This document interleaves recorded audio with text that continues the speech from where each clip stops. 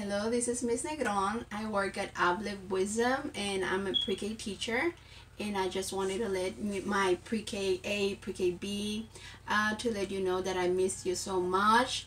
But um, stay home be safe and remember to wash wash your hands listen to mom to dad and also remember to do your work.